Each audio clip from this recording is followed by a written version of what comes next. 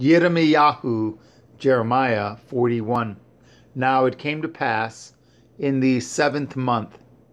that Yishmael, the son of Nethanyahu, the son of Elishama, of the seed royal, and the princes of the king, even ten men with him, came unto Gedaliah, the son of Ahicham, to Mitzpah.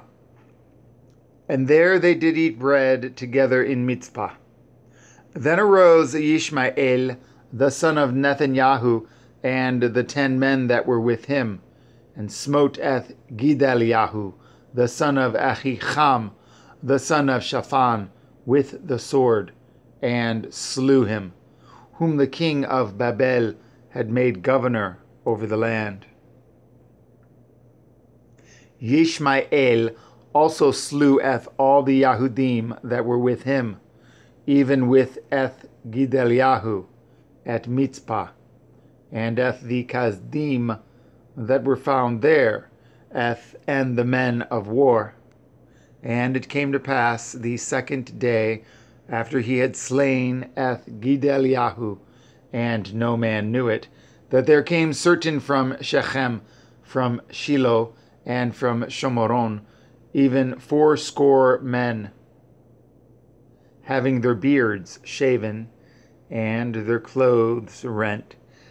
and having cut themselves with offerings and incense in their land,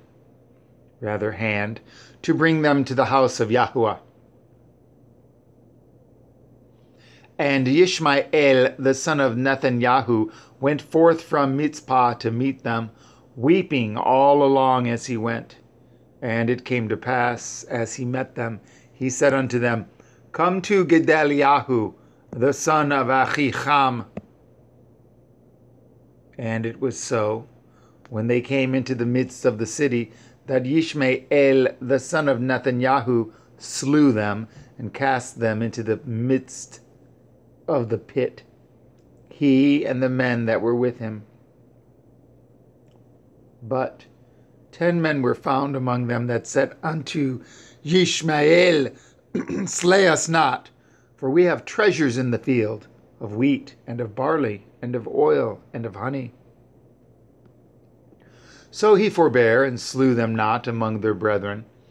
Now the pit wherein Ishmael had casteth all the dead bodies of the men, whom he had slain because of Gedaliah,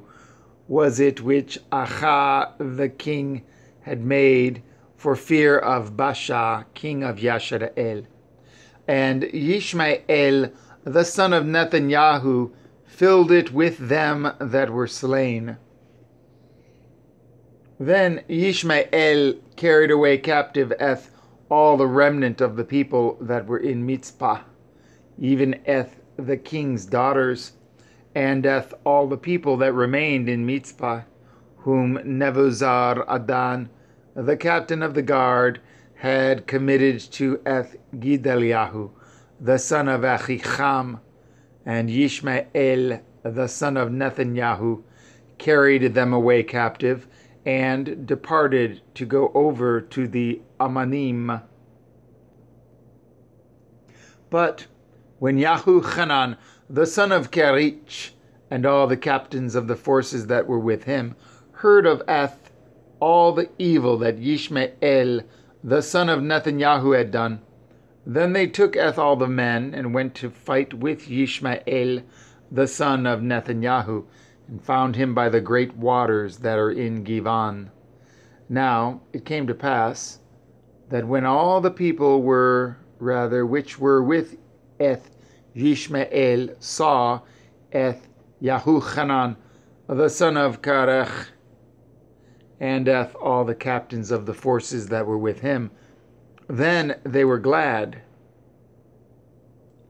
So all the people that Yishmael had carried away captive from Mitzpah cast about and returned, and went unto Yahuchanan, the son of Karech. But Yishmael, the son of Nethanyahu, escaped from Yahuchanan with eight men, and went to the Ammonim.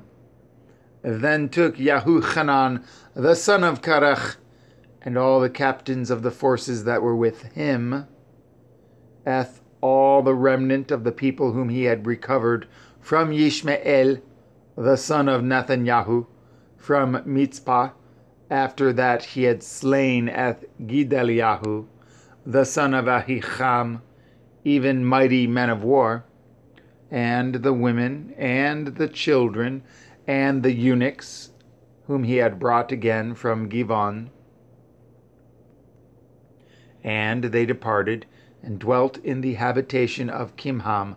which is by Beit Lechem, to go to enter into Mitzrayim, because of the Kasdim, for they were afraid of them, because Yishmael, the son of Nethanyahu, had slain Eth Gidel Yahu, the son of Achicham, whom the king of Babel made governor in the land.